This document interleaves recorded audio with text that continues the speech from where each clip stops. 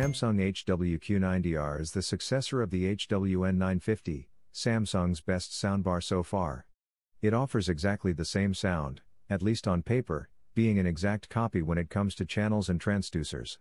However, it comes with improved connectivity, and it launched at a much cheaper price than its predecessor, which makes it an automatic recommendation being the best Dolby Atmos soundbar of the moment. Design The HWQ90R is big and heavy, and it requires some head clearance to fit under the TV. A metal grid envelops the soundbar on all sides, since all of them have transducers. The only things breaking this monotonous design are the Samsung and Harman slash logo, and a small row of buttons at the top of the bar, that can turn it on and off, adjust the volume, and select the source. The subwoofer is one of the few things that have changed a bit.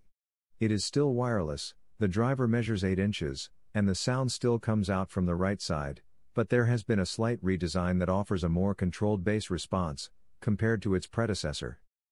As for the rear speakers, they are also the same ones that came with the HWN 950. They are self amplified, so they do not need to be connected to an amplifier slash receiver. Of course, they both need to be plugged in. On the soundbar's rear, we find all the connections. This is where the HWQ90R improves significantly over the HWN 950. Not in terms of the number of connections, but in terms of quality.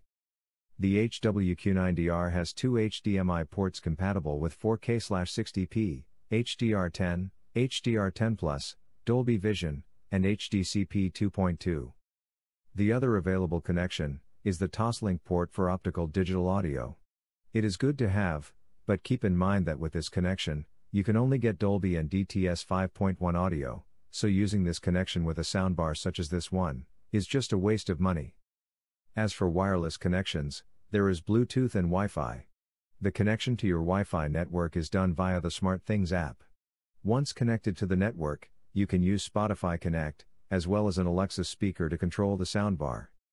The biggest fault here, at least according to me, is that the HWQ90R doesn't offer support for Google Assistant, Chromecast, or Apple AirPlay. It doesn't even support Bixby, Samsung's own virtual assistant, which says a lot. Hardware the HWQ90R features 18 transducers, 13 on the bar, 4 on the rear speakers, and the one in the subwoofer, in a 7.1.4 channel configuration. The three front channels are composed of one tweeter and two midwoofers each.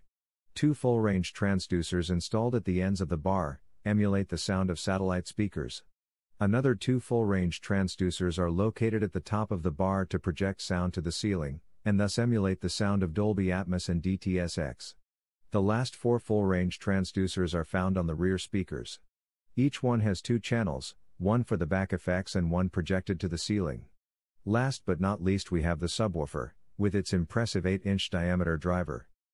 This impressive collection of transducers manages to reproduce both Dolby Atmos and DTS:X as faithfully as possible. Sound The sound is simply awesome. This is undoubtedly the best Dolby Atmos soundbar of the moment. It offers clear audio, with high fidelity reproduction at all frequencies, and a definition that can be matched only by last year's HWN 950. Obviously, the HWQ90R shines brighter with Dolby Atmos and DTS:X content.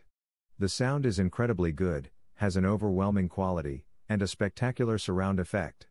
I even dare say that the HWQ90R provides a sound quality above its price range. You don't believe me? Try it with a rainy scene in Dolby Atmos, and be amazed at how you feel the rain drop from above all around you.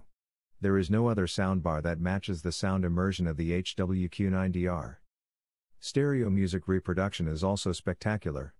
There is no doubt that this soundbar offers high fidelity reproduction, with absolutely clear and crisp vocals, and a stereo image that gives the instruments the necessary separation, making the music sound as if you were at a concert. Having said all this, the inclusion of room correction in order to calibrate the equipment according to the characteristics of the individual rooms is still missing.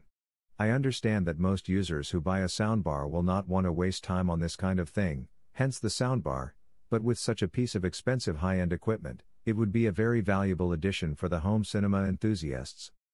Verdict The purchase of Harman was one of the smartest things Samsung has ever done. Thanks to it, its audio division has improved a lot, and today Samsung is the company that produces the best soundbars on the market. The HWQ90R is one of them, and also the best so far.